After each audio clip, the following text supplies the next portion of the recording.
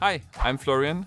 I'm a Lego designer and I worked on the Lego Adidas Original Superstar. So, in the box, you get the Lego Adidas Superstar, which comes with a nice stand, and uh, first time of all, uh, a shoelace, which is a very new element we put in there. And you can build the shoe from the right side, but we also included additional pieces. So, if you're up for a nice challenge, you can get the additional building instructions online and build the left side of the shoe. So the shoe is something we really took care to reproduce the exact features of a real shoe. We wanted to have the option that you can open it up slightly like a real shoe, fold up the tongue, have a nice look inside, and then you close the shoe like a real shoe and lace it up. We have made four stages of the build. First of all, you build the sole, and then second, you build the heel that you click on the sole, and then next up, you build the left and the right flap of the shoe that you also click on and the uh, shell toe, and then the tongue that gets put onto as a last step and then folds all together nicely. And as the finishing touch, you put on the shoelace. So we have made a very special box for this shoe, something we never did before. It's actually a real shoe box in form and size, and we really wanted to give it the impression of containing a real shoe, but then with a kind of a twist in design. And uh, the team put a lot of effort in there to make it work with the Lego bricks in there, but then also giving that same feeling that you unbox a shoe, uh, but still with Lego bricks inside and having a very nice wrap for that.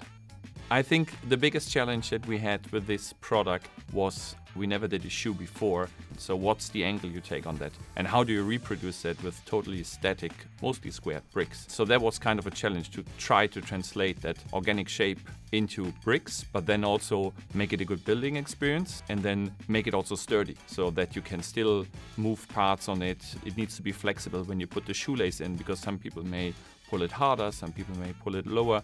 So to have all these criteria in there, I think that was one of the biggest challenge.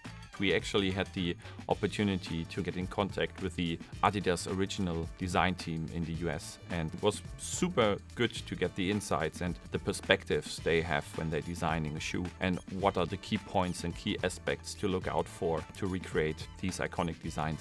We have uh, two new elements that are very interesting to mention, I think. One of it is the 5x5 new dome element um, that we use uh, for the shell toe in the front. And it has, in this case, printed lines on it, but it will probably be seen in the future in more sets uh, to come. And I think it's a great element, especially for our builders out there, to create very nice structures, nice organic shapes, building domes, all kind of these things. And then we have the shoelace. And the shoelace is something we never did before, totally fresh. And I'm already very curious to see what our fans will build and create with that interesting part of the shoe.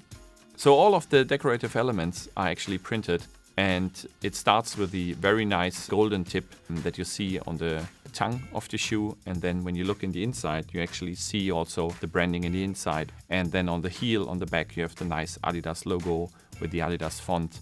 And then also in gold on the side you will see the Superstar brand. So when the cooperation with Adidas started it was kind of obvious um, that I will take on it uh, as I'm wearing the Superstars since ever. I think I started wearing them when I was 16 years old. Growing up in the 90s, it was just such an iconic shoe. Everybody was wearing it. I can remember people modding the shoe, putting the big laces on there uh, in a lot of vibrant colors. So I think doing the shoe with also the option that you can keep the laces off is a very nice homage to that time and the music related to that. So I think the coolest part that we achieved with this product was actually we managed to get this very complicated organic product translated into the Lego system and the Lego DNA. I think uh, that was definitely the thing we are in the end the most proud of. For everyone who wants to become a Lego designer, I would always say keep on building and be passionate. I think that's the thing that drives the most of us here.